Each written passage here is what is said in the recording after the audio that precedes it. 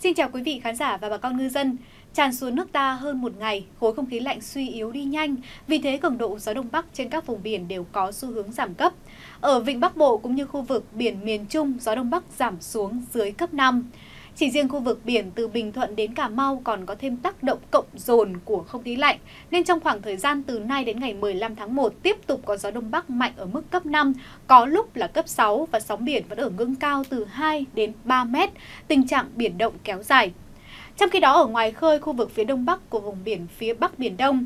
vùng từ 17 độ Vĩ Bắc trở lên và khu vực phía đông kinh tuyến 113 độ là những vùng còn có tác động mạnh của không khí lạnh, nên ở khu vực này gió Đông Bắc còn mạnh ở mức cấp 5 có lúc là cấp 6.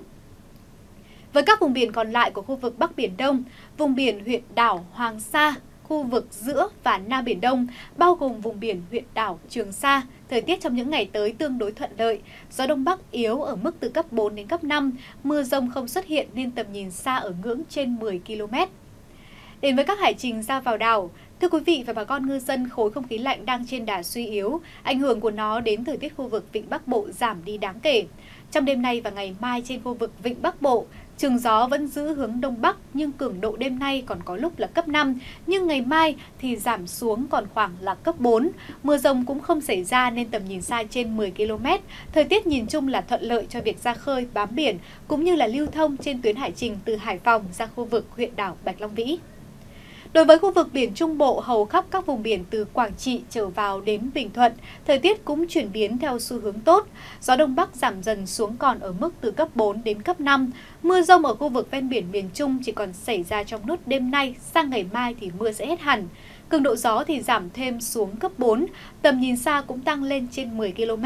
Vì vậy, việc lưu thông hàng hải, khai thác ngư trường cũng như là đi lại trên tuyến hải trình từ cảng Sa Kỳ ra huyện đảo Lý Sơn sẽ không gặp trở ngại gì.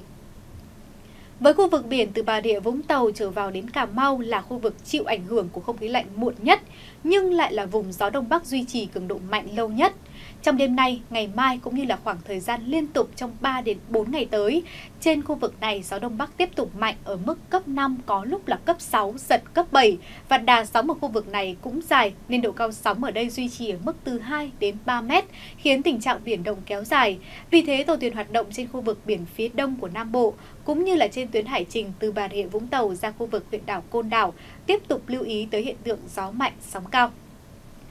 Còn với khu vực biển phía Tây của Nam Bộ là vùng biển từ Cà Mau đến Kiên Giang, trong đó có tuyến hải trình từ Rạch Giá đến Phú Quốc. Trong đêm nay, ngày mai và thậm chí cả tuần tới tiếp tục là những ngày thời tiết tốt, trời không mưa, gió lặng, sóng thấp, biển yên, thời tiết thuận lợi cho các hoạt động ra khơi đánh bắt đầu năm của bà con ngư dân và đi lại trên tuyến hải trình từ Rạch Giá ra Phú Quốc và ngược lại.